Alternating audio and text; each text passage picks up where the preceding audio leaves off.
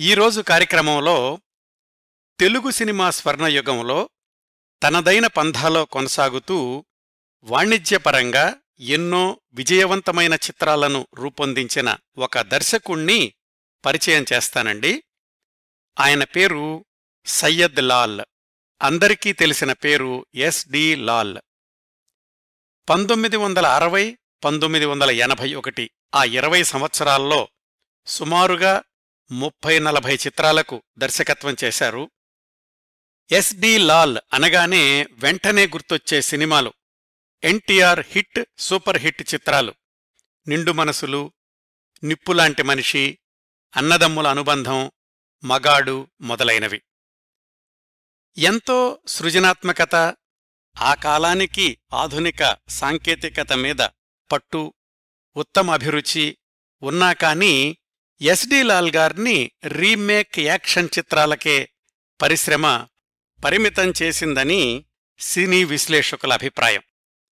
అయినా కాని క్రమశిక్షణ నిజాయితీ అంకితభావం కల దర్శకుల జాబితాలో పరిగణించదగిన ఎస్డి లాల్ గారు దర్శకత్వం చేసిన సినిమాల్లో ఎనభై శాతం పైగా చిత్రాలు విజయవంతం కావడం వాటిల్లో కొన్ని సూపర్ హిట్స్ ఘన విజయం సాధించడం విశేషం. ఇంకా వివరాలు ప్రధాన కథనంలో చెప్తాను. ముందుగా దర్శకుడిగా ఎస్డి లాల్ గారి ప్రత్యేకతల జాబితా బుల్లెట్ పాయింట్స్ లాగా చెప్తాను. ఎస్డి లాల్ గారి ఇరవై ఏళ్ళ దర్శకత్వ జీవితంలో రూపొందించినవి సుమారుగా ముప్పై నలభై సినిమాలే అయినా ఆయన దర్శకుడు కాకముందు సినిమా దర్శకత్వం నుంచి పక్కకు తప్పుకున్నాక కూడా సృజనాత్మక రంగంలో ఆయన సాధించిన విజయాలు చాలా ఉన్నాయి. ప్రధాన కథనంలో అవన్నీ వివరంగా చెప్తాను. ఎస్ డి లాల్ గారు జానపద పౌరాణిక సాంఘిక అన్ని తరహా చిత్రాలకు దర్శకత్వం చేశారు. దర్శకుడు కావడానికి ముందు పది పన్నెండేళ్ళు కఠోర శ్రమ పలువురు ప్రముఖుల దగ్గర సహాయకుడిగా పనిచేసిన అనుభవం ఉంది. జానపద బ్రహ్మ విఠలాచార్య గారి చాలా విజయవంతమైన సినిమాల్లో పాటల చిత్రీకరణ అంతా చేసింది ఆయనకు ఆ రోజుల్లో సహాయకుడిగా ఉన్న ఎస్డి లాల్ గారే. ఈ విషయాన్ని విఠలాచార్య గారే స్వయంగా చెప్పడం ఒక విశేషం. ఒకటి రెండు సినిమాలకు దర్శకుడిగా తనతో పాటు ఎస్డి లాల్ గారికి సమాన క్రెడిట్ ఇచ్చారు విఠలాచార్య గారు. ఎస్డి లాల్ గారి సినీ జీవితంలో ప్రముఖంగా చెప్పుకోదగ్గ దశ పంతొమ్మిది వందల అరవై ఎనిమిది పంతొమ్మిది వందల డెబ్భై ఎనిమిది మధ్యలో ఎన్టీఆర్ గారితో రూపొందించిన చిత్రాలు. ఆ పదేళ్ళల్లో విఠలాచార్య గారితో కలిసి దర్శకత్వం చేసిన పల్లెటూరి చిన్నోడు కూడా కలుపుకుంటే మొత్తం పది ఎన్టీఆర్ చిత్రాలకు దర్శకత్వం చేశారు ఎస్డి లాల్ గారు.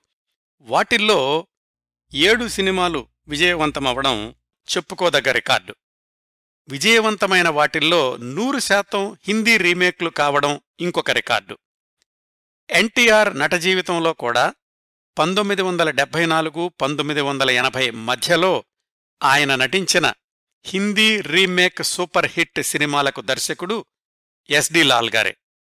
మొదట్లో చెప్పిన నిప్పులాంటి మనిషి నేరం నాది కాదు ఆకలది మగాడు అన్నదమ్ముల అనుబంధం మొదలైనవి ఆ కోవకు చెందిన సినిమాలే. పంతొమ్మిది వందల అరవై ఏడులో నిండు మనసులు సినిమాతో NTR S D Lal combination ప్రారంభమైతే ఆ మరుసటి సంవత్సరమే పంతొమ్మిది వందల అరవై ఎనిమిదిలో ఎస్డి లాల్ నిర్మాత దర్శకుడిగా రూపొందించిన నేనే మొనగాణ్ణి చిత్రంలో హీరో ఎన్టీఆర్ గారే. ప్రముఖ మలయాళ కథానాయిక షీలాని నేనే మొనగాణ్ణి చిత్రం ద్వారా హీరోయిన్గా తెలుగు ప్రేక్షకులకు పరిచయం చేసింది ఎస్డి లాల్ గారే. తెలుగు సినిమాలో పూర్తిస్థాయి ఇంగ్లీషు పాట ప్రవేశపెట్టింది కూడా ఎస్డి లాల్ గారే. నేనే మొనగాణ్ణి చిత్రంలో ఆనే hot summer morning a girl went on walking అనేది ఆ పాట. సి. నారాయణరెడ్డి గారు వ్రాసిన ఖవాలీ పాటల్లో అధిక శాతం ఎస్డి లాల్ గారి సినిమాల్లోవే. కేవలం సినిమాల దర్శకత్వం వాటి జయాపజయాలు వీటికే పరిమితం కాకుండా ఎస్డి లాల్ గారు చిత్ర పరిశ్రమకు చేసిన సేవల్లో ప్రధానమైనవి. ఒకటి మద్రాసులో తొలిసారిగా దక్షిణ భారత దర్శకుల సంఘాన్ని ప్రారంభించడం. రెండోది అప్పటి రాజకీయ నాయకులతో మాట్లాడి డైరెక్టర్స్ కాలనీ పేరుతో మద్రాసు సినీ పరిశ్రమలోని సాంకేతిక నిపుణులకు ముఖ్యంగా దర్శకుల కోసం ఒక గృహ సముదాయాన్ని ఏర్పరచడంలో కీలకమైన పాత్ర పోషించడం. ఇంకా వివరాలు ప్రధాన కథనంలో వస్తాయి. తాను సినీ పరిశ్రమలో ఎన్ని ఢక్కాముక్కీలు తిన్నా పరిశ్రమ అంటే అమితమైన గౌరవం ఉన్న దర్శకుడు ఎస్డి లాల్ గారు. దానికి గొప్ప ఉదాహరణ తన పిల్లల్ని తమ్ముణ్ణి తమ్ముడిగారి పిల్లల్ని అందర్నీ కూడా సినీ పరిశ్రమలోనే ప్రవేశించమని ప్రోత్సహించడం వాళ్ళకి విలువలతో కూడిన వృత్తి జీవితం గురించి పాఠాలు నేర్పి వాళ్ళంతా సినిమా రంగంలో విజయవంతంగా కొనసాగడానికి పటిష్టమైన పునాదులు వేయడం. పంతొమ్మిది వందల ఎనభై దశాబ్దంలో అప్పుడప్పుడే ఎదుగుతున్న టీవీ రంగంలో కూడా తనదైన పంధాన్ని కొనసాగిస్తూ అనేక విజయవంతమైన కార్యక్రమాలను రూపొందించడం వాటిల్లో ముఖ్యంగా ఉత్తరాది నటీనటుల్ని హైదరాబాదుకు పిలిపించి హైదరాబాదులో వాళ్ళతో జాతీయ స్థాయి దూరదర్శన్ కోసం ఒక హిందీ సీరియల్ని రూపొందించడం కూడా ఎస్డి లాల్ గారి కెరీర్లో చెప్పుకోదగ్గ విశేషం. పంతొమ్మిది వందల ముప్పై ఒకటిలో జన్మించి పంతొమ్మిది వందల తొంభై మూడులో తన అరవై రెండు సంవత్సరాల వయసులో కన్నుమూసిన ఎస్డి లాల్ గారి సినీ జీవితం నలభై నాలుగు సంవత్సరాలని చెప్పుకోవచ్చండి. తుదిశ్వాస విడిచేదాకా ఆయన దర్శకత్వ విభాగంలోనే కొనసాగారు. వృత్తి జీవితాన్నే దైవంగా భావించారు. ఇవండి దర్శకుడిగా ఎస్డి లాల్ గారి కొన్ని ప్రత్యేకతలు. ఎక్కడో కృష్ణా జిల్లాలో పల్లెటూరులో ఎదిగిన కుర్రవాడు ఒంటరిగా బొంబాయికి వెళ్ళి అక్కడ్నుంచి మద్రాసు చేరుకుని ఎవరి సిఫారసు లేకుండా స్వయం కృషితో ప్రతిభతో సృజనాత్మకతతో అన్నింటికీ మించి వివాదరహితమైన మంచితనంతో అంచెలంచెలుగా ఎదిగిన వైనం చాలా ఆసక్తికరంగా ఉంటుంది స్ఫూర్తిదాయకంగానూ కూడా అనిపిస్తుంది. ఆ వివరాల్లోకి వెళ్ళబోయే ముందు ఈ కార్యక్రమ రూపకల్పన కోసం నేను ఎక్కడెక్కడ్నుంచి సమాచారం సేకరించానో చెప్తాను. సినిమా రంగం పత్రిక పంతొమ్మిది వందల అరవై రెండు ఫిబ్రవరి సంచికలో ఎస్డి లాల్ గారి గురించి వారి సోదరుడు ఎస్ఎస్ లాల్ గారి గురించి వ్యాసాలు వచ్చాయి వాటిని చదివాను. కాంతారావు గారు తన ఆత్మకథలో ఎస్డి లాల్ గారు దర్శకత్వం చేసిన మొట్టమొదటి చిత్రం సహస్ర శిరచ్ఛేద అపూర్వ చింతామణి గురించి వివరాలు వ్రాశారు. అవి పరిశీలించాను. ఎన్టీఆర్ గారి గురించిన వ్యాసాల్లో రీమేక్ చిత్రాల విశేషాలు ఉన్నాయి. ఎస్డి లాల్ గారు దర్శకత్వం చేసిన సినిమాల గురించిన వివరాలు ఆయా సంవత్సరాల్లోని సినిమా రంగం విజయ చిత్ర పత్రికల్లో లభించాయి. ఆయా సినిమాల పాటల పుస్తకాలు ఎలాగూ మరింత సమాచారాన్నిచ్చాయి. వీటన్నింటికీ మించి ఈ కార్యక్రమం అత్యంత సాధికారతతో రూపుదిద్దుకోవడానికి ప్రధాన కారణం ఎస్డి లాల్ గారి పెద్దబ్బాయి ప్రముఖ ఎడిటర్ కెమెరామ్యాన్ దర్శకుడు మీర్ గారు. వారితో నాకు మూడున్నర దశాబ్దాలు పైగా పరిచయం. ఆయన వాళ్ళ నాన్నగారి గురించిన సమాచారాన్ని దాదాపుగా రెండు గంటల పాటు ఫోన్లో చెప్పారు. ఆయన ఈ కార్యక్రమం కోసమని ప్రత్యేకంగా పంపించిన సందేశాన్ని కూడా ఈ కార్యక్రమం చివర్లో వినిపిస్తాను మీకు. వారికి ప్రత్యేక హృదయపూర్వక ధన్యవాదాలు తెలియచేస్తున్నాను. ఇప్పుడు ఎస్డి లాల్ గారి జీవన రేఖల్లోకి వెళదాం. ఎస్డి లాల్ గారి స్వస్థలం కృష్ణా జిల్లా నూజివీడు. ఆయన పుట్టిన తేదీ పంతొమ్మిది వందల ముప్పై ఒకటి మే ఎనిమిదవ తేదీ. వాళ్ళ నాన్నగారు సయ్యద్ మీర్ బ్రిటిష్ ప్రభుత్వంలోని పోలీస్ డిపార్ట్మెంట్లో హెడ్ కానిస్టేబుల్గా పనిచేస్తుండేవారు. ఆయనకు ఇద్దరే సంతానం. సయ్యద్ లాల్ సయ్యద్ షహీద్ లాల్. వాళ్ళే తర్వాత సినిమా రంగంలో ఎస్డి లాల్ ఎస్ఎస్ లాల్. సయ్యద్ మీర్ ఉద్యోగరీత్యా ఉయ్యూరు చిన్న ఓగిరాల పెద ఓగిరాల గ్రామాల్లో పనిచేశారు.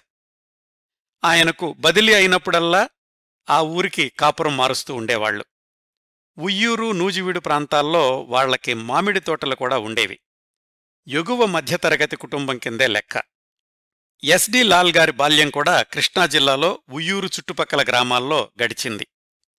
ఆయనకు పదమూడు సంవత్సరాల వయసుండగా అంటే ఇంకా హైస్కూల్లో చదువుకుంటూ ఉండగానే వాళ్ళ నాన్నగారు చాలా చిన్న వయసులోనే హఠాత్తుగా కన్నుమూశారు ఆయన పెన్షను పొలం మీద వచ్చే ఆదాయంతోటి వాళ్ళమ్మగారు ఇద్దరు పిల్లల్ని చదివించడం కొనసాగించారు.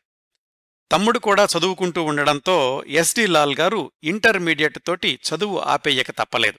ఇంకొక కారణం ఆ వయసులోనే చిన్న ఉద్యోగం అవకాశం కూడా రావడం. ఆ రోజుల్లో గన్నవరంలో చిన్నపాటి ఎయిర్ ఫోర్స్ బేస్ ఒకటి ఉండేదట. అందులో అసిస్టెంట్ ఉద్యోగం దొరికింది పదహారు పదిహేడు సంవత్సరాల ఎస్డి లాల్ గారికి. అక్కడ బ్రిటిష్ ఆఫీసర్లతో కలిసి పనిచేయడంతోటి ఇంగ్లీషు భాష మీద మంచి పట్టు దొరికింది. ఇంగ్లీషు పుస్తకాలు చదవడం కూడా బాగా అలవాటయింది. అక్కడ ఒక సంవత్సరం పనిచేసేసరికి విసుగొచ్చేసింది. రోజు పై ఆఫీసర్ ఏ పని చెప్తే ఆ పని చెయ్యడం. అంతకుమించి ఆలోచించడానికి పెద్దగా అవకాశం ఉండేది కాదు. అప్పటికే సినిమాలు బాగా చూస్తున్న ఆసక్తితోటి ఆ పరిశ్రమలో ఏదైనా అవకాశం దొరుకుతుందేమోనని బొంబాయికి ప్రయాణం కట్టారు ఎస్డి లాల్. అప్పటికి మద్రాసులో కూడా పరిశ్రమ ఉంది కానీ బహుశా హిందీ ఇంగ్లీషు భాషల్లో బాగా ప్రావీణ్యం ఉండడం వల్లనో లేక ఎల్వి ప్రసాద్ గారు లాంటి వాళ్ళ అనుభవాలు తెలియడం వల్లనో ఏమో కాని మద్రాసు కాకుండా బొంబాయికి వెళ్ళారు తన పద్దెనిమిది సంవత్సరాల వయసులో పంతొమ్మిది వందల నలభై తొమ్మిదిలో ఎస్డి లాల్ గారు. అక్కడికెళ్ళాక సహజంగానే తెలిసొచ్చింది సినీరంగ ప్రవేశం అంత సులువు కాదు అని. ఏదో స్టూడియోలో సెట్ బాయ్గా చేరడం కంటే ఎక్కడైనా సాంకేతిక విభాగంలో శిక్షణ తీసుకోవడం మంచిది అని ఫజల్ భాయ్ ఇన్స్టిట్యూట్లో కెమెరా విభాగంలో శిక్షణ కోసం చేరారు. ఇంటి దగ్గర నుంచి డబ్బులు తెప్పించుకోగల వెసులుబాటు ఉండడం ఆ ఇన్స్టిట్యూట్లోనే క్లాసులైపోయాక సహాయకుడిగా పార్ట్ టైం ఉద్యోగం దొరకడంతో కెమెరా గురించి నేర్చుకోవడం మీదనే దృష్టంతా కేంద్రీకరించారు. ఆ అవకాశం దొరికేదాకా రెండు మూడు నెలలు కేరాఫ్ రైల్వే ప్లాట్ఫామే ఆయన అడ్రస్ అయ్యింది. క్లోక్ రూమ్ అతన్ని మంచి చేసుకుని అక్కడ సూట్ కేసు ఉంచుకోవడం అక్కడే క్యాంటీన్లో తినడం రాత్రిపూట సబర్బన్ రైళ్ళలో పడుకోవడం ఇది తొలి రోజుల్లో ఆయన బొంబాయి జీవితం. ఒకసారి ఇన్స్టిట్యూట్లో స్థిరపడ్డాక మరొక ఐదారుగురితోటి కలిసి అద్దెగదిలోకి మారారు. కావాలని ఏదైనా సాధించాలని వచ్చారు కాబట్టి వాళ్ళ క్లాసుల్లో చెప్పిన దానికంటే ఎక్కువ ఎట్లా నేర్చుకోవాలా అని ప్రయత్నిస్తూ ఉండేవాళ్ళు ఒక ఏడాది బాగానే గడిచింది. కెమెరా ఫిలిం ప్రాసెసింగ్ విభాగాల గురించి క్షుణ్ణంగా అధ్యయనం చేశారు. ఒకరోజు ఆ ఇన్స్టిట్యూట్లో కొత్తగా చేరిన టీచర్ ఒక ఆయన ఒరే కుర్రాడా కుర్చీ ఇటు తీసుకురా అని కాస్త తేలిగ్గా మాట్లాడడం ఎస్డి లాల్ గారికి నచ్చలేదు. అంతవరకు తీసుకున్న శిక్షణ వల్ల కలిగిన ఆత్మవిశ్వాసంతో కాస్త ఆవేశంలో బొంబాయిని వదిలేయడానికి నిశ్చయించుకుని మద్రాసు చేరుకున్నారు. బొంబాయిలో సంపాదించుకున్న కొద్దిపాటి అనుభవంతో మద్రాసులోని తమిళనాడు టాకీస్ వాళ్ళ ఫిలిం ప్రాసెసింగ్ ల్యాబొరేటరీలో అసిస్టెంటుగా చిన్న ఉద్యోగం తెచ్చుకోగలిగారు పంతొమ్మిది వందల యాభైలో. చెరువులో చాపపిల్ల ఈదడం ఎలా అలవాటు చేసుకుంటుందో ఎస్డి లాల్ అనే ఇరవై సంవత్సరాల కుర్రాడు మద్రాసు సినీ పరిశ్రమలో తన కాళ్ళ మీద తను నిలబడే ప్రయత్నాల్లో ఒక మాదిరి విజయం సాధించినట్లయింది అప్పటికి. కొన్నాళ్ళ తర్వాత మాణిక్యం అనే ఎడిటర్ దగ్గర సహాయకుడిగా పనిచేశారు. అట్లాగే ఛాయాగ్రాహకుడు ఎంఏ రెహమాన్ గారి వద్ద కెమెరా విభాగంలో కూడా సహాయకుడిగా పనిచేశారు. మొత్తానికి ఎవరి సిఫారసు లేకపోయినా గాడ్ ఫాదర్ అంటూ ఇంకా ఎవరూ లేకపోయినా కేవలం తన సత్ప్రవర్తనతో కష్టపడే మనస్తత్వంతో ఎక్కడికెళ్ళినా మంచి పేరు తెచ్చుకున్నారు ఎస్డి లాల్ గారు. అట్లా ప్రాసెసింగ్ విభాగంలోనూ ఎడిటింగ్ విభాగాల్లోనూ సహాయకుడిగా ఒకటి రెండేళ్ళ అనుభవం తర్వాత దర్శకత్వ శాఖలో ప్రవేశించే అవకాశం లభించింది. అది కూడా చాలా తమాషాగా అనుకోకుండా. ఏం జరిగిందంటే ఆ రోజుల్లో ఎస్డి లాల్ గారికి ఒకటే ధ్యేయం ఒకటే లక్ష్యం. ఆకలి అన్నం నీరు అన్నీ కూడా సినిమానే. నిజానికి తినడానికి ఉన్నా లేకపోయినా రోజూ థియేటర్లో ఒక సినిమా చూడడం అనేది తప్పనిసరి. ముఖ్యంగా మౌంట్ రోడ్లోని క్యాసినో థియేటర్లో ఆడే ఇంగ్లీషు సినిమాలు. రెహమాన్ గారి దగ్గర కెమెరా అసిస్టెంట్గా పనిచేసిన ఆ రోజుల్లో ఒకసారి యథావిధిగా ఒక ఇంగ్లీషు సినిమాకెళ్ళారు అప్పటికీ రెహమాన్ గారు ఎస్డి లాల్ గారు ఎల్వి ప్రసాద్ గారు దర్శకత్వం చేస్తున్న సంసారం సినిమాకి పనిచేస్తున్నారు. ఎస్డి లాల్ గారు వెళ్ళిన ఇంగ్లీషు సినిమాకే దర్శకుడు ఎల్వి ప్రసాద్ గారు కూడా వెళ్ళారు తన యూనిట్లోనే అసిస్టెంట్గా ఉన్న ఎస్డి లాల్ గారిని థియేటర్లో చూసి ఏమయ్యా ఇంగ్లీషు సినిమాలు ఎక్కువగా చూస్తావా? అని పలకరించారు ఎల్వి ప్రసాద్ గారు. క్రమం తప్పకుండానండి అని సమాధానమిచ్చారు ఎస్డి లాల్. ఆ మర్నాడు సంసారం సినిమా సెట్స్ మీద ఎల్వి ప్రసాద్ గారు ఒక షాట్ కంపోజ్ చేస్తున్నారు.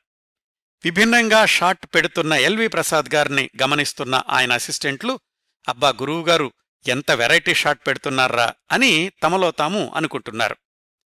మరి ఎస్డి లాల్ గారు తన మాటలో ఎల్వి ప్రసాద్ గారు వినకూడదని చెప్పారో విన్నా పర్వాలేదని చెప్పారో కాని ఆ అసిస్టెంట్ల దగ్గరికెళ్ళి గురువుగారు పెడుతున్న షాటు రాత్రి మేం చూసిన ఇంగ్లీషు సినిమాలోది అని మామూలుగానే చెప్పారు. అదేదో రహస్యంలాగా కాకుండా. అది ఎల్వి ప్రసాద్ గారి చెవిన పడింది. ఆయన కోపగించుకోలేదు సరికదా సాయంకాలం ప్యాకప్ చెప్పాక ఎస్డి లాల్ గారిని పిలిపించారు. తనకేవో చివాట్లు పెడతారు అని అనుకున్నారాయన కాని ఎల్వి ప్రసాద్ గారు నీ పనితనాన్ని గమనిస్తున్నానయ్యా నువ్వు కెమెరా విభాగంలో కంటే దర్శకత్వ విభాగంలోనే ఎక్కువగా రాణిస్తావనిపిస్తోంది నా దగ్గర అసిస్టెంట్గా పనిచేస్తావా? అని అడిగారు. అప్పటికీ కెమెరా ఎడిటింగు ల్యాబ్ ప్రాసెసింగు ఈ విభాగాల్లో లోతుగా కాకపోయినా అవసరమైనంత మేర శిక్షణ తీసుకున్న ఎస్డి లాల్ గారు కొత్త విభాగంలో నేర్చుకోవడం మంచిది అనుకున్నారు. ఎల్వి ప్రసాద్ గారి ప్రతిపాదనను వెంటనే అంగీకరించారు. ఆ విధంగా దర్శకత్వ శాఖలో ప్రవేశించిన ఎస్డి లాల్ గారు మరొక పది సంవత్సరాల పాటు వివిధ దర్శకుల వద్ద పనిచేస్తూ దర్శకత్వ శాఖలోనే అంచెలంచెలుగా ఎదిగారు. సంసారం సినిమా ఘన విజయం తర్వాత ఎల్వి ప్రసాద్ గారు ఎస్డి లాల్ గారిని వదులుకోవడం ఇష్టం లేక తన తర్వాతి సినిమాలు మనోహర లాంటి తెలుగు సినిమాలతో పాటుగా మంగయార్ తెలగం స్వర్గవాసల్ లాంటి తమిళ సినిమాలకు కూడా దర్శకత్వ శాఖలో తనతో సహాయకుడిగా కొనసాగించారు. సంసారం సినిమా నిర్మాత రంగనాథ్ దాస్ గారు దాసి అనే సినిమాకి దర్శకత్వం చేస్తూ తన మొదటి అసిస్టెంట్గా ఎస్డి లాల్ గారిని తీసుకున్నారు. ఆ వరుసలోనే జంపన గారి దగ్గర హరిశ్చంద్ర భట్టి విక్రమార్క సినిమాలకు సి పుల్లయ్య గారి దగ్గర సంతానం శ్రీకృష్ణలీలలు లవకుశ సినిమాలకు దర్శకత్వ శాఖలో సహాయకుడిగా పనిచేశారు.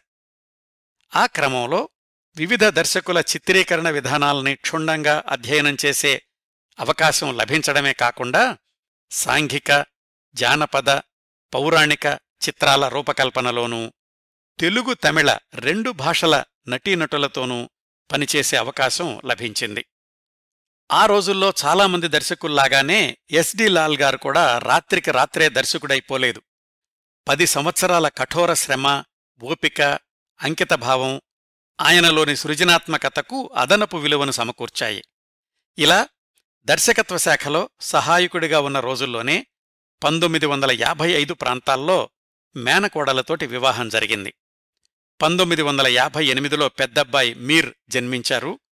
ఎస్డి లాల్ గారు ఇలా మద్రాసులో స్థిరపడితే ఆయన తమ్ముడు ఎస్ఎస్ లాల్ గారు హైస్కూలు చదువు పూర్తి చేసుకుని టీచర్ ట్రైనింగ్ చదివి ఉయ్యూరులో మాస్టారుగా ఉద్యోగంలో చేరారు. ఆయనకు హైస్కూల్ రోజుల నుంచే తెలుగు సాహిత్యం పట్ల ఆసక్తి ఏర్పడింది. టీచర్గా పనిచేస్తున్న రోజుల్లో పత్రికలకు కథలు వ్రాసి పంపించడం అవి ప్రచురణ కావడం జరిగింది. ఆయనలోని సృజనాత్మక ప్రవృత్తి బడిపంతుల ఉద్యోగంతో సంతృప్తి చెందలేదు. అప్పటికే పదేళ్ళుగా సినీ పరిశ్రమలో ఉంటున్న అన్నయ్యకి ఉత్తరం వ్రాశారు. నాక్కూడా సినిమాల్లోకి రావాలని ఉంది అని. ఎస్డి లాల్ గారు సంతోషంగా ఆహ్వానించారు తమ్ముణ్ణి. ఎస్ఎస్ లాల్ గారు టీచర్ ఉద్యోగానికి తాత్కాలికంగా సెలవు పెట్టి అన్నయ్య గారి దగ్గరకు చేరుకున్నారు. వివిధ విభాగాల్లోనూ అనుభవం ఉన్న ఎస్డి లాల్ గారు తమ్ముణ్ణి కెమెరా విభాగంలో అసిస్టెంట్గా చేర్పించారు. నేనెలాగూ దర్శకత్వంలో ఉన్నాను నువ్వు కెమెరా విభాగంలో అనుభవం సంపాదిస్తే మనిద్దరం కలిసి పనిచేయొచ్చు అని చెప్పారు ఎస్డి లాల్. తర్వాత రోజుల్లో ఎస్ఎస్ లాల్ గారు మరొక మేనకోడల్ని వివాహం చేసుకున్నారు. అంటే ఎస్డి లాల్ ఎస్ఎస్ లాల్ అన్నదమ్ములు అక్కా చెల్లెళ్ళైన మేనకోడళ్ళని వివాహం చేసుకున్నారు. ఈ విధంగా పంతొమ్మిది వందల యాభై దశాబ్దంలో ఎస్డి లాల్ గారి సినీ జీవితంలోనూ వ్యక్తిగత జీవితంలోనూ అనేక కీలకమైన సంఘటనలు చోటు చేసుకున్నాయి. పది సంవత్సరాల క్రమశిక్షణ ఫలితంగా పంతొమ్మిది వందల యాభై తొమ్మిదిలో ఎస్డి లాల్ గారికి సొంతంగా సినిమాకి దర్శకత్వం చేసే అవకాశం వచ్చింది. అది ఎలా జరిగిందంటే ఆ రోజుల్లో దక్షిణాది సినిమాల నిర్మాణానికి ముఖ్య కేంద్రాలు మద్రాసు కోయంబత్తూరు సేలం. సేలంలోని మోడరన్ థియేటర్స్ గురించి దాని యజమాని టిఆర్ సుందరంగారి గురించి లోగడే నేనొక పూర్తిస్థాయి కార్యక్రమం ప్రసారం చేశాను. ఆ సుందరంగారు తన మోడరన్ థియేటర్స్ బ్యానర్ మీద ఫ్యాక్టరీ ఉత్పత్తుల్లాగా సినిమాలను నిర్మించేవాళ్ళు అని చెప్పాను ఆ కార్యక్రమంలో. ఆయన తమిళుడే కాని తెలుగు తమిళ కన్నడ సింహళ మలయాళి అన్ని భాషల్లోనూ సినిమాలు నిర్మిస్తూ ఉండేవాళ్ళు పంతొమ్మిది వందల యాభై తొమ్మిదిలో యంగళ్ కులదేవి అనే తమిళ సినిమాని ఆదుర్తి సుబ్బారావు గారి దర్శకత్వంలో ప్రారంభించారు టిఆర్ సుందరం మోడర్న్ థియేటర్స్. ఆ సినిమాకే ఆదుర్తి గారి దగ్గర దర్శకత్వ శాఖలో సహాయకుడిగా ప్రవేశించారు ఎస్డి లాల్ గారు. మోడర్న్ థియేటర్స్ సుందరం గారు తాను నిర్మించే సినిమాలకు దర్శకుడు ఎవరైనా సినీ నిర్మాణం పూర్తిగా నియంత్రణ ఆయన చేతుల్లోనే ఉండేది. ఎంత పెద్ద దర్శకుడైనా హీరో హీరోయిన్ అయినా ఆయన నియమ నిబంధనలకు లోబడి పనిచేయాల్సిందే. ఎంగళ్ కులదేవి సినిమా నిర్మాణం దాదాపు పూర్తి కావస్తూ ఉండగా దర్శకుడు ఆదుర్తిగారికి నిర్మాత టిఆర్ సుందరంగారికి అభిప్రాయ భేదాలు వచ్చాయి. సినిమా పూర్తి చేయకుండా వెళ్ళిపోయాను అన్న అపనింద తెచ్చుకోవడం ఇష్టం లేక ఆదుర్తి సుబ్బారావు గారు ఎస్డి లాల్ గారికి చెప్పారు. ఈయనతో నేను వేగలేకపోతున్నాను మిగతా భాగం నువ్వు పూర్తి చెయ్యి అని. ఎస్డి లాల్ గారి పనితనాన్ని దగ్గరగా గమనిస్తున్న టిఆర్ సుందరం గారు కూడా ఆ ఏర్పాటుకి అంగీకరించారు ఆనందించారు కూడా. ఎస్డి లాల్ గారితో చెప్పి తనకు కావాల్సినట్లుగా ఆ యంగళ్ కులదేవి సినిమాని పూర్తి చేయించుకున్నారు టిఆర్ సుందరం గారు.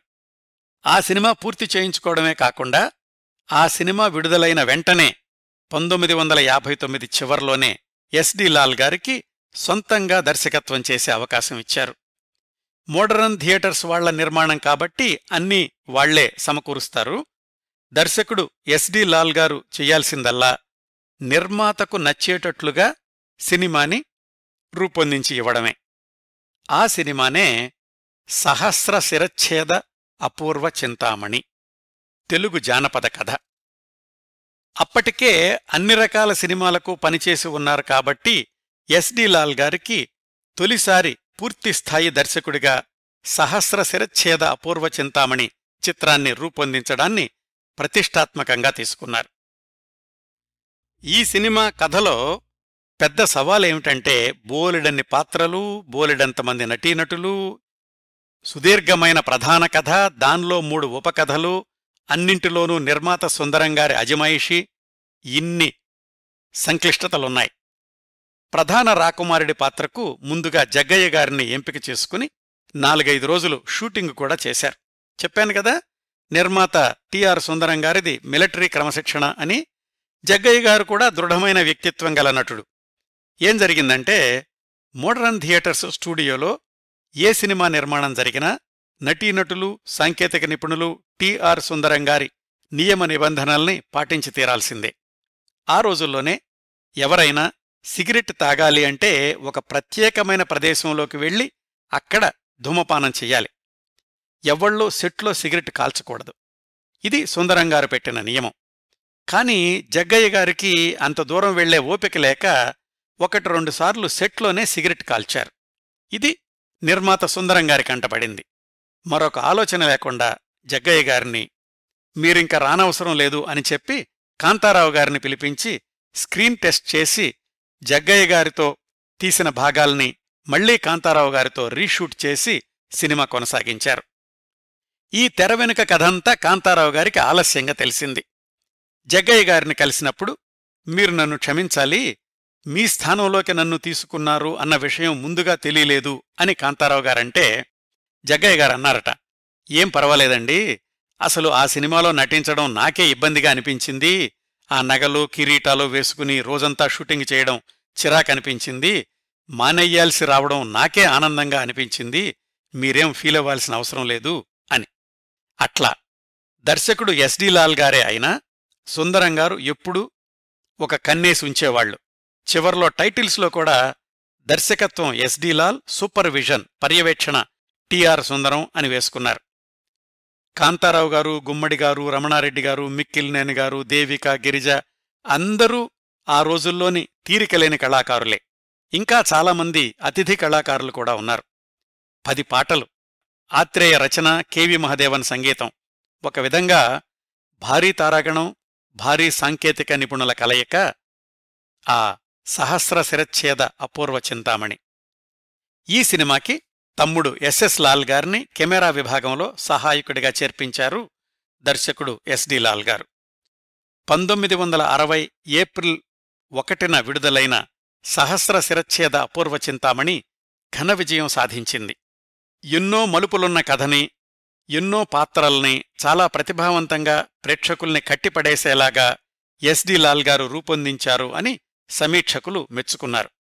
మోడ్రన్ థియేటర్స్కి మంచి లాభాల్ని తెచ్చిపెట్టింది కూడా.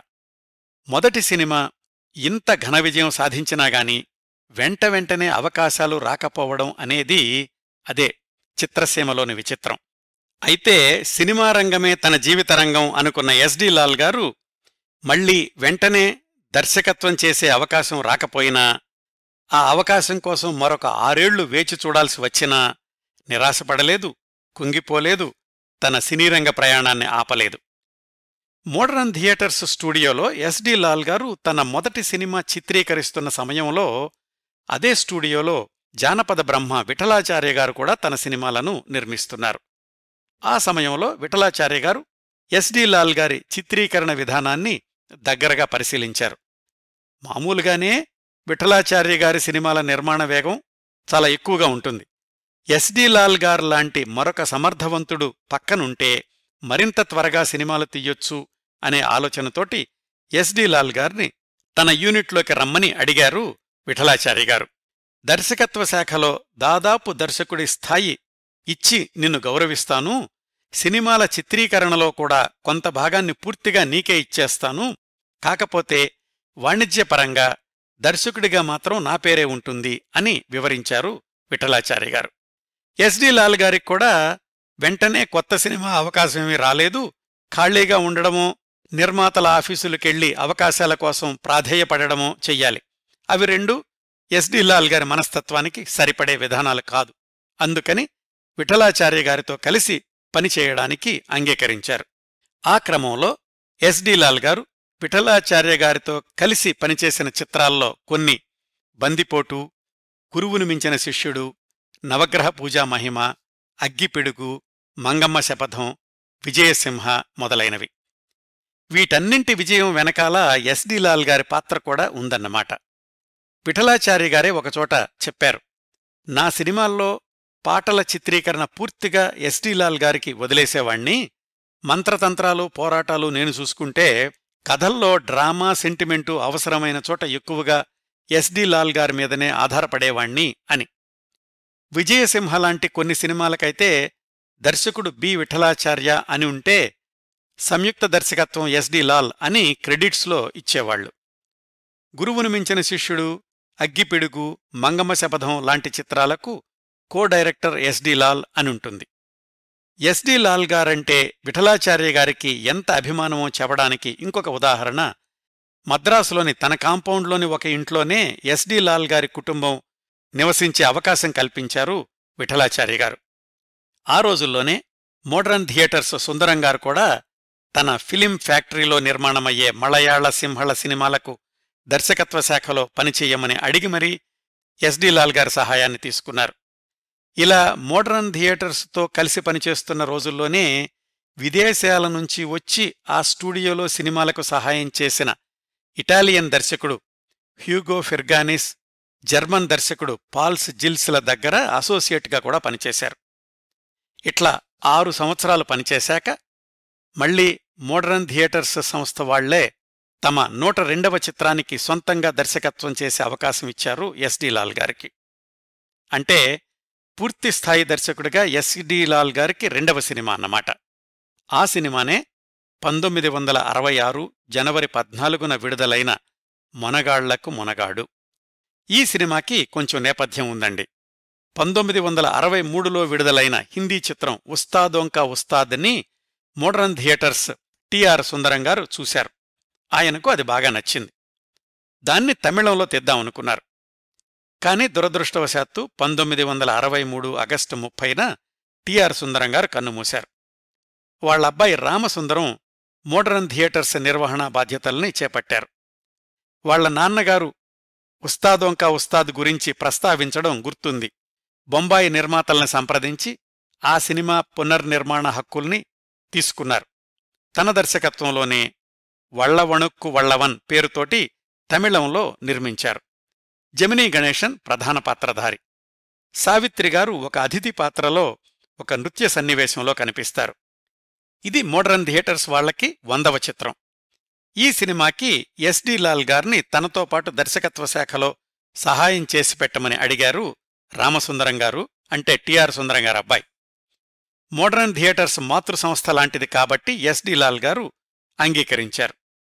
ఇంకొక విశేషం అప్పటికీ ఏడెనిమిది సంవత్సరాలుగా కెమెరా విభాగంలో పనిచేస్తున్న ఎస్డి లాల్ గారి తమ్ముడు ఎస్ఎస్ లాల్ గారు ఈ తమిళ సినిమాకి పూర్తిస్థాయి ఛాయాగ్రాహకుడిగా పనిచేశారు. తమిళంలో చక్కటి విజయం సాధించింది. ఆ విశ్వాసంతో వెంటనే దాని తెలుగు వర్షన్ ప్రారంభించి ఎస్డి లాల్ గారిని దర్శకుడిగా నియమించారు రామసుందరం గారు. ఎస్డి లాల్ గారి రెండో చిత్రం మొనగాళ్ళకు మొనగాడు వెనకాల ఇంత కథుందండి ఎస్వి రంగారావు గారు ప్రధాన పాత్రధారి హర్నాథ్ కృష్ణకుమారి ఒక జంట. క్రైమ్ సస్పెన్స్ యాక్షన్ చిత్రం. ఎస్వి రంగారావు గారికి కత్తుల రత్తయ్య పాత్రలు ఈ సినిమాతోనే మొదలయ్యాయి.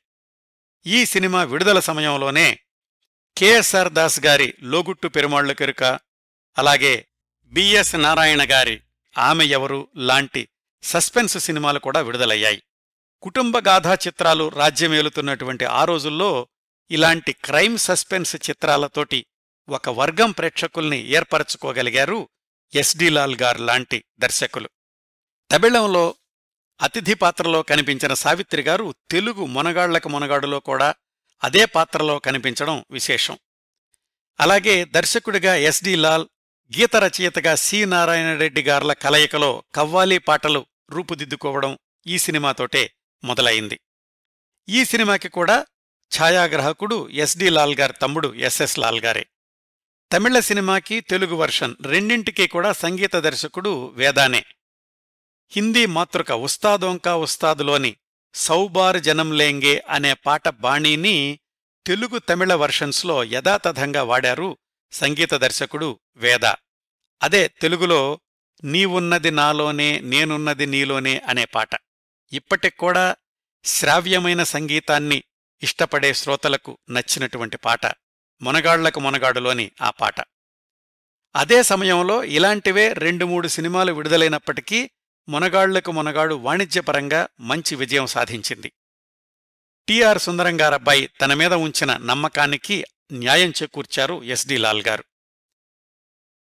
ఆయన దర్శకత్వం చేసిన మొదటి చిత్రం పంతొమ్మిది వందల అరవైలో విడుదలైన సహస్ర శిరచ్ఛేద అపూర్వ చింతామణి ఘన విజయం సాధించినప్పటికీ జానపద చిత్రాల దర్శకుడిగా ఎస్డి లాల్ గారి మీద ముద్ర పడలేదు. కానీ ఆరేళ్ళ తర్వాత వచ్చిన ఈ రెండో సినిమాతో మాత్రం సస్పెన్స్ థ్రిల్లర్ సినిమాల దర్శకుడిగా ముద్రపడింది ఎస్డి లాల్ గారి మీద. ఆ సంవత్సరమే అంటే పంతొమ్మిది వందల అరవై ఆరులోనే ఇలాంటిదే ఇంకొక సినిమాకి దర్శకత్వం చేసే అవకాశం వచ్చింది ఎస్డి లాల్ గారికి. అదే పిఎస్ఆర్ పిక్చర్స్ వారి హంతకులొస్తున్నారు జాగ్రత్త. పంతొమ్మిది వందల అరవై ఆరు ఆగస్టు ఆరున విడుదలయ్యింది. ఇది కూడా క్రైమ్ సస్పెన్స్ చిత్రమే. గుమ్మడిగారు ప్రధాన పాత్రధారి. జైలు నుంచి తప్పించుకున్న నలుగురు హంతకులుంటారు. ఈ చిత్రం బందరు నివాసి పింజల సుబ్బారావు గారు ప్రారంభించిన పిఎస్ఆర్ పిక్చర్స్ వాళ్ళకి తొలి చిత్రం. అతి తక్కువ సమయంలో ఈ చిత్ర నిర్మాణాన్ని పూర్తి చేశారు అని ఆ రోజుల్లోని పత్రికలు ప్రత్యేకంగా ఎస్డి లాల్ గారిని అభినందించాయి. కొత్త నిర్మాతలు పరిమితమైన పెట్టుబడి ఈ పరిమితుల్లోనే ఎస్డి లాల్ గారు ఎంత పొదుపుగా చిత్రీకరించేవాళ్ళు అనడానికి ఒక ఉదాహరణ. హంతకులొస్తున్నారు జాగ్రత్త చాలా భాగం ఒక ఇంట్లో నడుస్తుంది. ఆ ఇల్లు మొత్తం షూటింగుకి సిద్ధం చేయడానికి అవసరమైనన్ని లైట్లు లేవు. కారణం బడ్జెట్ లేదు. అన్నీ ఉంటేనే షూటింగ్ చేస్తాను అని భీష్మించుకోకుండా ఎస్డి లాల్ గారు ఏం చేశారంటే ఉన్న లైట్లను వాడి ఇంట్లో ఒక భాగాన్ని సిద్ధం చేసి అంతమేరా ఉండే దృశ్యాల్ని చిత్రీకరించారు. అట్లా నాలుగైదు రోజులు షూటింగ్ అయ్యాక ఆ లైట్లన్నీ రెండో వైపుకు మార్చి అక్కడి దృశ్యాల్ని చిత్రీకరించారు. ఒక్కో దృశ్యం సగభాగం ఒకవైపు సగభాగం ఇంకో వైపు కూడా ఉంటుంది. అయినా కాని కంటిన్యూటీ దెబ్బతినకుండా నిర్మాత మీద అదనపు భారం మోపకుండా హంతకులొస్తున్నారు జాగ్రత్త చిత్రాన్ని రికార్డు సమయంలో పూర్తి చేయగలిగారు ఎస్డి లాల్ గారు. ఈ సినిమాకు పెట్టినటువంటి ఖర్చు సాధించిన వసూళ్ళ పరంగా లాభాలు తెచ్చిపెట్టిన చిత్రమే అయ్యింది. ఈ సినిమాలో ఘంటసాల గారు పాడిన అమ్మాయి ఓ అమ్మాయి నువ్వు గమ్మత్తుగా ఇటు రావాలి అనే పాట మంచి ప్రజాదరణ పొందింది. ఈ సినిమాకి కూడా కెమెరా విభాగాన్ని నిర్వహించింది ఆయన సోదరుడు ఎస్ఎస్ లాల్ గారే. మునగాళ్ళకు మునగాడు హంతకులొస్తున్నారు జాగ్రత్త రెండు సినిమాలతో ఎస్డి లాల్ గారి సినిమాలో అంటే వినోదం గ్యారంటీ చక్కటి పాటలుంటాయి రెండున్నర గంటలు కదలకుండా చూడొచ్చు అనే భావం ప్రేక్షకుల్లో ఈయనతో సినిమాలు తీస్తే లాభాలు గ్యారంటీ అన్న భావం పరిశ్రమలో కలిగింది. ఈ రెండు చిత్రాలకు పూర్తి భిన్నమైన చిత్రం భీమాంజనేయ యుద్ధం. అది కూడా పంతొమ్మిది వందల అరవై ఆరులోనే ఎస్డి లాల్ గారి దర్శకత్వంలో రూపొందింది.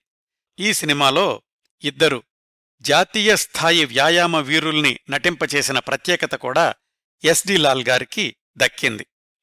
దండమూడి రాజగోపాల్ గారు భీమునిగా కామినేని ఈశ్వరరావు గారు ఆంజనేయుడిగా నటించారు. కామినేని ఈశ్వరరావు అంటే ఆ రోజుల్లో అంతర్జాతీయ ఖ్యాతి గడించిన బాడీ బిల్డర్. నాకు తెలిసినంతలో ఆయన ఆంజనేయుడిగా నటించిన ఏకైక చిత్రం ఎస్డి లాల్ గారి భీమాంజనేయ యుద్ధం. ఇది ఒక మాదిరిగా విజయం సాధించింది. ఇన్నింటి తరువాత ఎస్డి లాల్ గారిని ప్రధాన పంక్తిలోకి తీసుకొచ్చిన చిత్రం ఎన్టీఆర్ గారి కాంబినేషన్లో వచ్చిన తొలి చిత్రం నిండు మనసులు. పంతొమ్మిది వందల అరవై ఏడు ఆగస్టు పదకొండున విడుదలైన ఈ చిత్రం ధర్మేంద్ర నటించిన హిందీ చిత్రం ఫూల్ ఔర్ పత్తర్కి రీమేక్. మాతృక సినిమాలోని కథానాయకుడి పాత్ర చిత్రణను అనుసరిస్తూనే ఎన్టీఆర్ని కొత్త రకంగా చూపించారు దర్శకుడు ఎస్డి లాల్. టైట్ ప్యాంటు ఒంటికి అతుక్కునుండే బనియన్తోటి కొత్త రకంగా ఎన్టీఆర్ని ప్రేక్షకుల ముందుకు తీసుకొచ్చారు. ఆ రోజుల్లో నిండు మనసుల్లోని ఎన్టీఆర్ స్టైలిష్ నడక ఆయన అభిమానుల్ని విపరీతంగా అలరించింది. ఆ తర్వాత ఎన్టీఆర్ గారు కూడా అలాంటి నడకనే మరికొన్ని సినిమాల్లో కొనసాగించడం విశేషం. ఎప్పటిలాగానే పాటల గురించి ప్రత్యేక శ్రద్ధ తీసుకోవడం వల్ల దాదాపు పాటలన్నీ ప్రజాదరణ పొందాయి. ఈ చిత్రం శతదినోత్సవం జరుపుకోవడమే కాకుండా మళ్ళా మళ్ళా విడుదలైనప్పుడు కూడా అంటే రిపీటెడ్ రన్స్లో కూడా భారీ వసూళ్ళు రాబట్టింది. ఈ సినిమా విజయంతో ఎస్డి లాల్ గారికి ప్రత్యేక గుర్తింపు దక్కింది.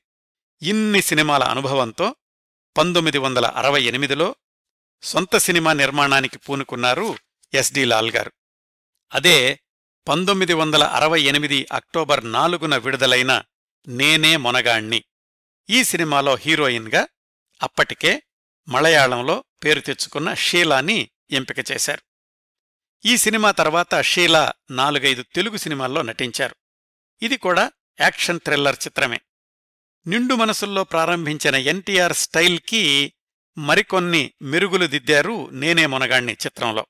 నిక్కరు టీషర్టులో ఎన్టీఆర్ ఒక పాటలో నటించడం కూడా ఒక విశేషం.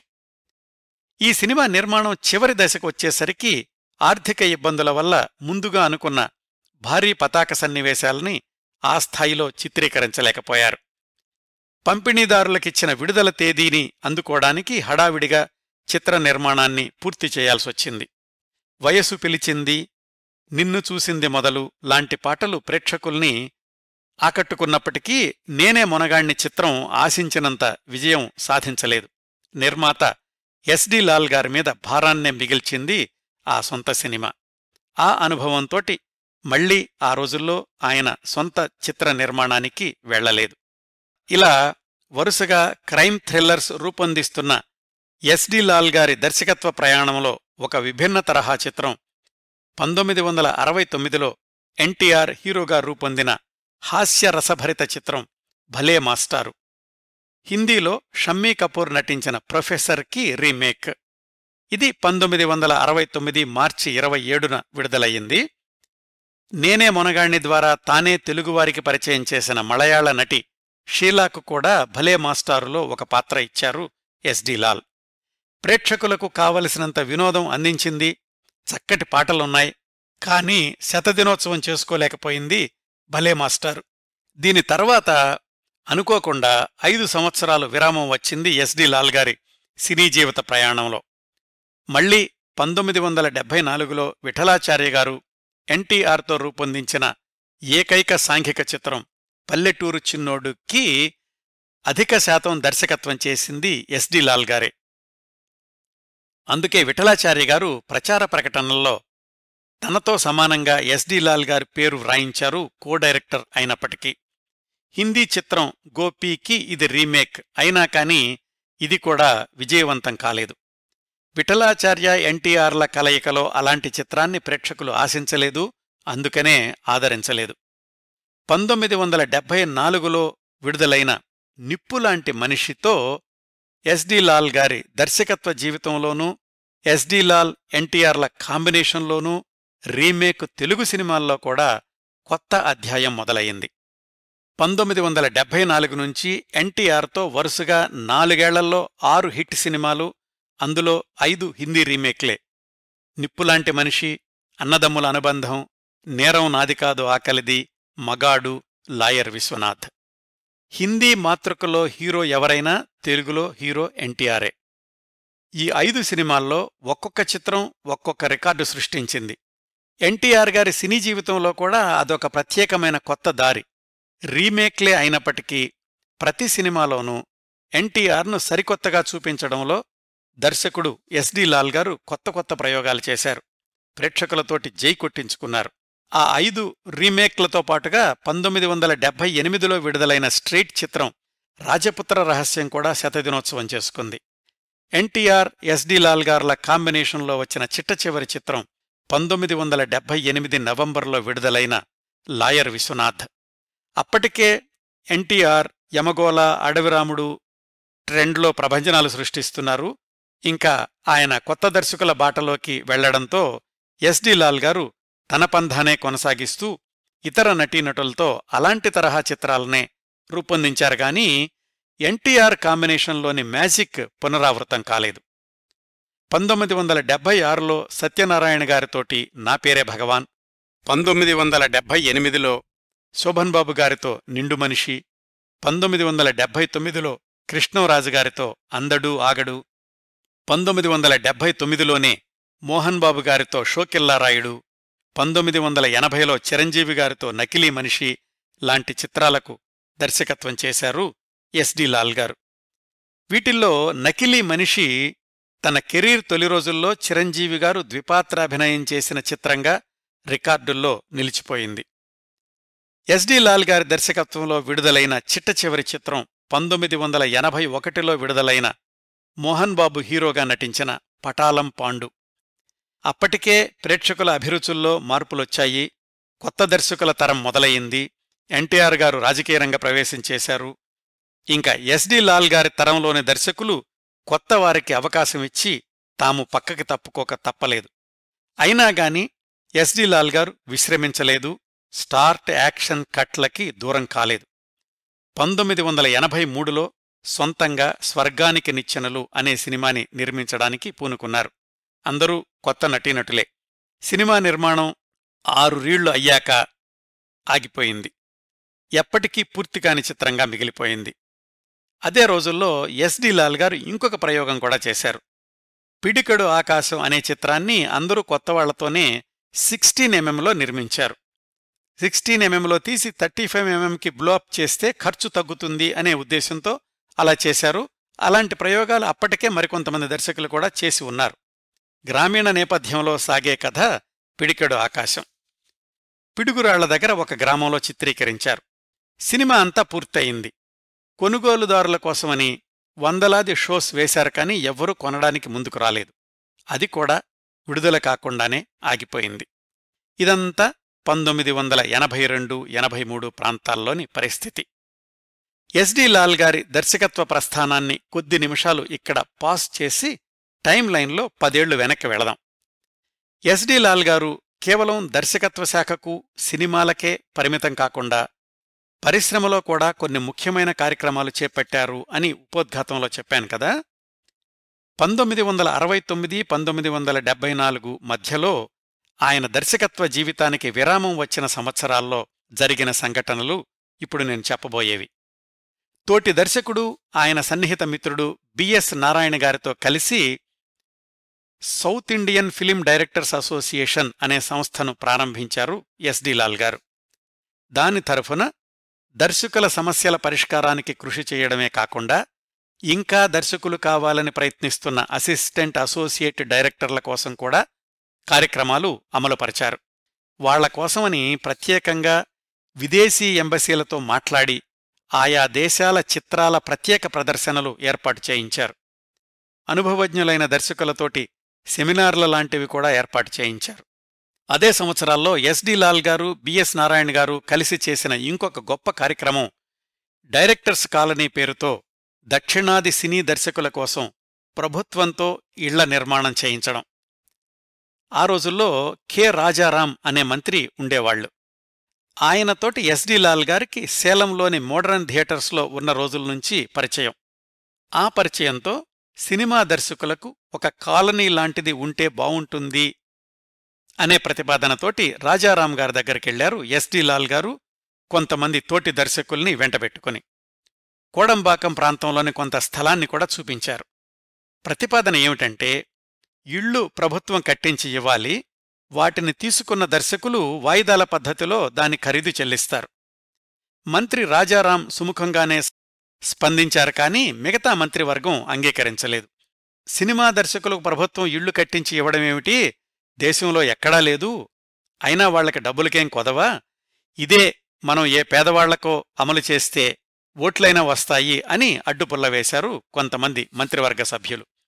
అయినా కాని ఎస్డి లాల్ గారి మీదున్న గౌరవంతో రాజారాం గారు ముఖ్యమంత్రితోటి పలుమార్లు సమావేశమై ఆయన్ని ఒప్పించగలిగారు.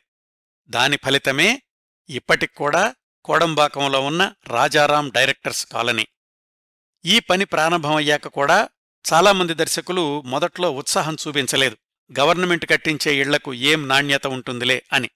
అప్పుడు కేవలం దర్శకులకే అన్న నిబంధన సడలించి మిగతా విభాగాల సాంకేతిక నిపుణులకు కూడా ఆ ఇళ్ళు కేటాయించారు. యాభై సంవత్సరాల క్రిందట ఎస్డి లాల్ గారి చొరవతో రూపొందిన ఆ రాజారాం డైరెక్టర్స్ కాలనీ ఇప్పుడు చెన్నై నగరం నడిబొడ్డున అత్యంత ఖరీదైన ప్రాంతం అయ్యింది.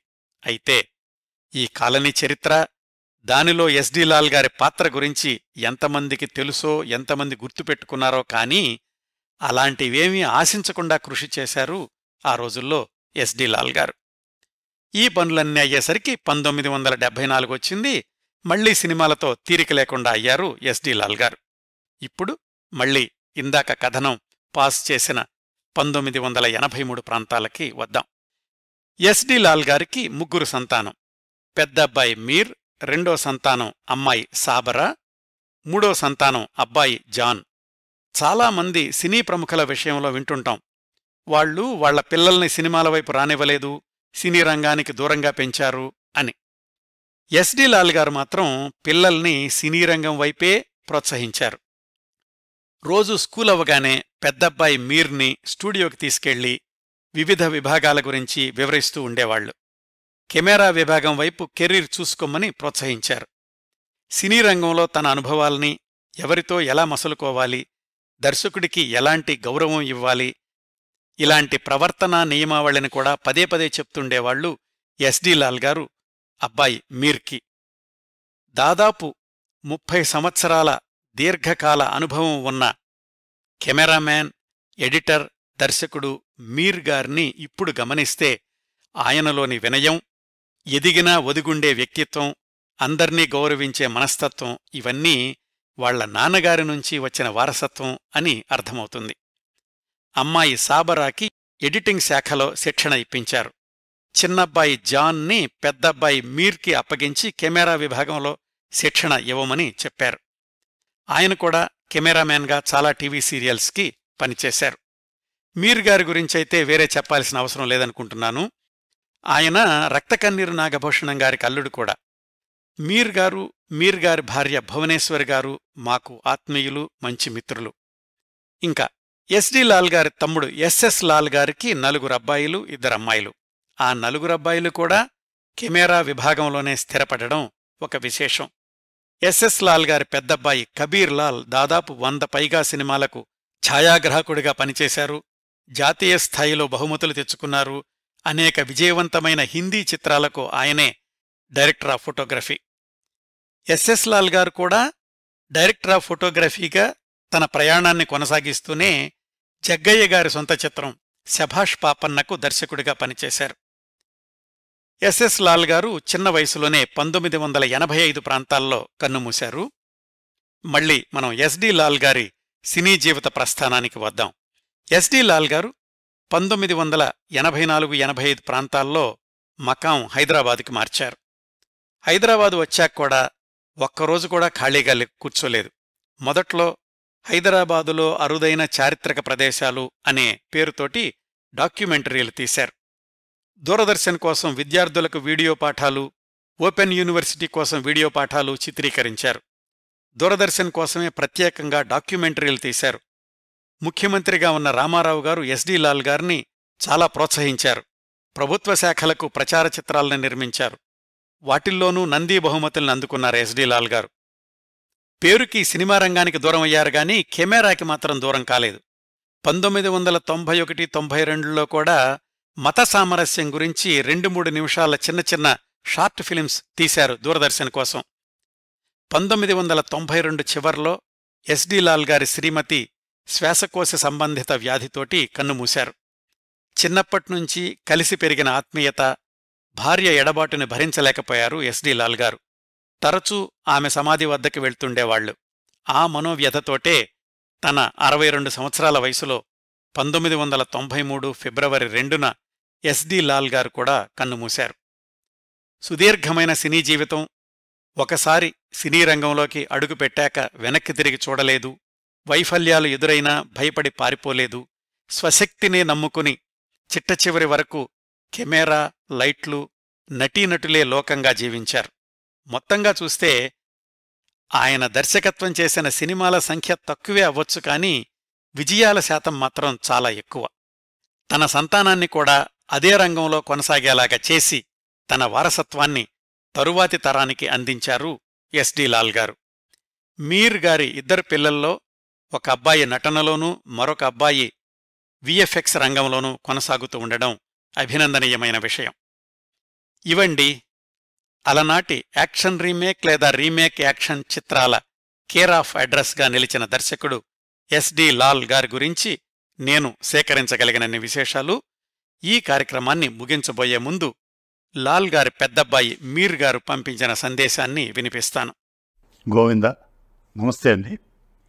ఈరోజు నేను ఇలా నాకు ఇష్టమైన నేను ఎంతో మెచ్చిన కిరణ్ ప్రభ గారి టాక్ షోలో మీ ముందుకు రావటం నాకు చాలా ఆనందంగా ఉంది. అందులోనూ మా నాన్నగారి మీద ప్రోగ్రాం చేస్తున్నారంటే అదే నాకు ఒక వరం.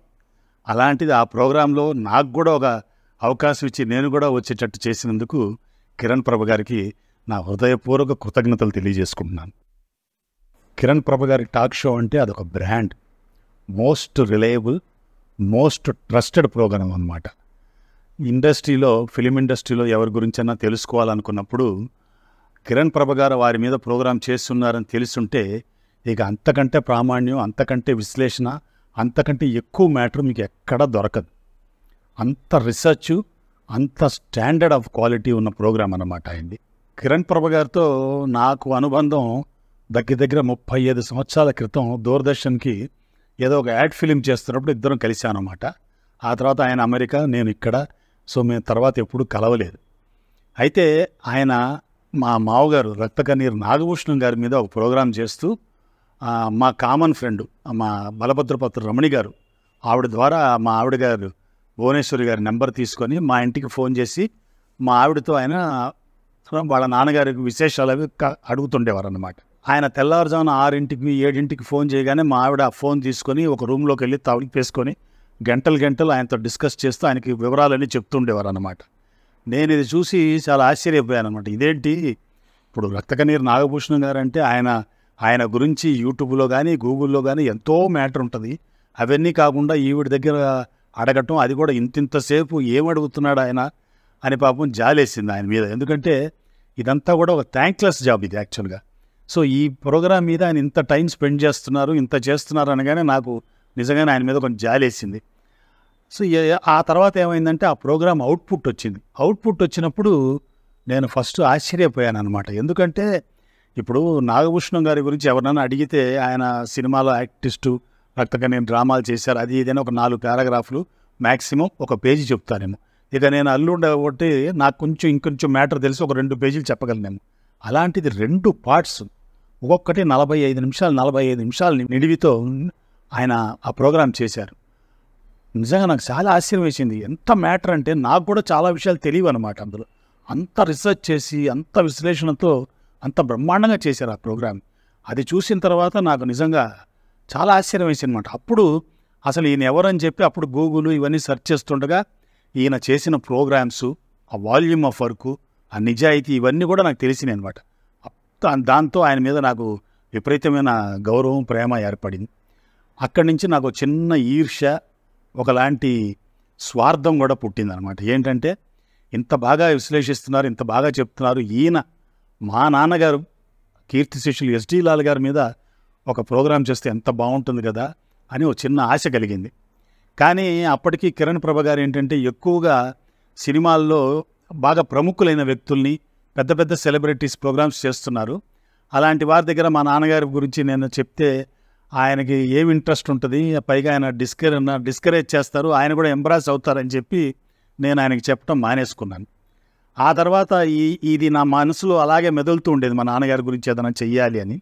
అప్పుడు మా గురువు గారు ఎండమూరి వీరేంద్రనాథ్ గారు ఆయన అప్పటికే చాలా బయోగ్రాఫిక్స్ రాస్తున్నారు అనమాట సో ఆయన దగ్గర చెప్పి చూద్దాం మా నాన్నగారి మీద ఒక ప్రోగ్రామ్ చేయమని. ఆయన రాస్తే దాని స్టాండర్డ్ ఎక్కడో ఉంటుంది అనుకొని గురువుగారిని వెళ్ళి కలిశాను. ఆయనతో ఈ విషయం చెప్పకుండా మాటల మాటల్లో మా నాన్నగారి సర్వీస్ గురించి ఒక నాలుగైదు ఆయన చేసిన సర్వీసెస్ గురించి ఒక నాలుగైదు విషయాలు చెప్పాను. వెంటనే ఆయన చాలా ఇంప్రెస్ అయ్యారు. నిజంగా నా ఇవన్నీ చేశారు ఆ లాల్ గారు అని చెప్పి ఆయన ఏం చెప్పారంటే మీరు మనం తప్పకుండా నాన్నగారిది బయోగ్రఫీ నేను రాస్తాను అన్నారు. నాకు చాలా సంతోషం వేసింది అనమాట ఆయన చాలా బిజీ ఆయనకుండే టైం ఫ్యాక్టరు తర్వాత ప్రెషర్స్ వల్ల ఆయన వెంటనే టేకప్ చేయలేకపోయారు. ఆ కినుకు నాలో అలాగే ఉండిపోయిందనమాట కానీ నా సంకల్పం గట్టిదో ఏమో భగవంతుడు ఆశీస్సులతో కిరణ్ ప్రభ గారు ఇండియాకి రావటం జరిగింది. ఆయన ఇండియాకి రావటం మా ఆవిడకి ఫోన్ చేసి ఒకసారి కలవాలనుకోవటం ఇక మా ఆవిడతో తోకగా నేను కూడా ఆయన దగ్గరికి వెళ్ళటం జరిగింది. అక్కడికి వెళ్ళినప్పుడు కూడా ఆయనతో మాటా మాట కలుపుతున్నప్పుడు మధ్యలో నేను మా నాన్నగారివి ఒక నాలుగైదు మంచి విషయాలు ఆయనకు చెప్పాను. ఆయన కూడా చాలా ఆశ్చర్యపోయారు. నిజంగా ఇలాంటి మంచి మంచి పాయింట్స్ ఉన్నాయా? అని ఆయన చాలా ఇంప్రెస్ అయ్యి వెంటనే ఏం చెప్పారంటే మీరు గారు నేను చేస్తాను లాల్ గారి మీద ప్రోగ్రామ్ అన్నారు. అంతే. నాకు పట్టరాని ఆనందం ఎగిరి గంతేసినంత ఆనందం కలిగిందనమాట కలిగిందనమాట. ఎందుకంటే ఆయన మా నాన్నగారి మీద ప్రోగ్రాం చేస్తే నాకు తెలుసు అదొక టెక్స్ట్ బుక్ లాంటిదని. అలా మొదలైన నా కళ ఆ భగవంతుడి ఆశీస్సులతో ఇలా నెరవేరిందనమాట. దీనికి నేను ముందుగా కిరణ్ ప్రభ గారికి నా హృదయపూర్వక కృతజ్ఞతలు తెలియజేసుకుంటున్నాను. అలాగే ఇలాంటి థ్యాంక్లెస్ జాబ్ని ఆయనకి ప్రోత్సహిస్తూ ఆయనకి సపోర్ట్ చేస్తున్న వారి సతీమణికి కూడా నా హృదయపూర్వక అభినందనలు కృతజ్ఞతలు తెలియజేసుకుంటున్నాను. అలాగే మా నాన్నగారి గురించి నాకు కూడా తెలియని ఎన్నో విషయాలు సారు విశ్లేషించి ఇందులో వివరించి ఉంటారని అవన్నీ చూడాలని నేను చాలా కుతూహలంగా ఉన్నాను. నేను దేహం వదిలేసే లోపు మా నాన్నగారి చరిత్ర ఇంతమందికి ఈ ప్రపంచానికి తెలియపరుస్తున్నందుకు కిరణ్ ప్రభ గారికి శతకోటి వందనాలు. శతమానం భవతి స్వస్తి. ధన్యవాదాలు మీరు గారు. మీరందించిన అత్యంత విలువైన అరుదైన సమాచారం ఈ కార్యక్రమానికి మరింత సాధికారతను సమకూర్చింది. శ్రోతలారా ఈ ఎపిసోడ్ని ఇంతటితో ముగిస్తున్నాను. ఈ కార్యక్రమాలను ఆదరించి అభిమానిస్తున్న శ్రోతలందరకు హృదయపూర్వకంగా ధన్యవాదాలు తెలియచేస్తున్నాను. మళ్ళీ వారం మరొక మంచి కార్యక్రమంతో కలుసుకుందాం. అంతవరకు నవ్వుతూ ఉండండి. మీ నవ్వులు పది మందికి పంచండి. ప్రస్తుతానికి మీ వద్ద సెలవు తీసుకుంటోంది. సదా మీ ఆదరాభిమానాలను కోరుకునే మీ కిరణ్ ప్రభ.